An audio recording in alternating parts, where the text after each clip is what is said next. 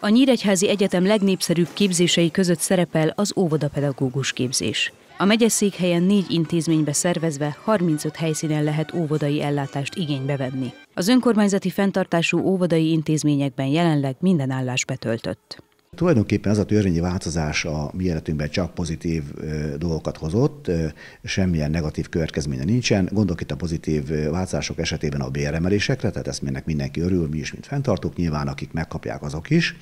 Miért is nem hozott választ, változást, hiszen az mi óvodai rendszerünkben az önkormányzatban 308 pedagógusi álláshely van, mindegyik be van töltve, tehát nincs üres álláshely, és ezek közül négy olyan személy van, aki középfokú végzettséggel rendelkezik, ugyanis a törvény korábban is lehetővé tette azt, hogy középfokú végzettséggel, megfelelő gyakorlattal, tehát ez körbe volt szabályozva, középfokú végzettségekkel el lehessen látni ezeket a feladatokat.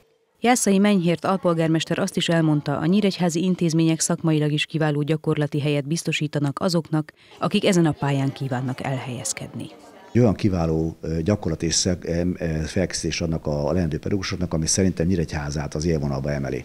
Tehát azok a, azok a törvényi változások, amelyek életbe léptek, minket nem húztak vissza, a mi céljainkat nem ö, ö, másítják meg, még azt sem mondom, hogy könnyebbé teszik, hiszen nálunk nincs napirenden, és nem téma az, hogy középfokot veszünk fel. Egyértelmű, hogy az egyetemi végzettségre törekszünk, és az is, azt is gyakoroljuk a napi, napi életben.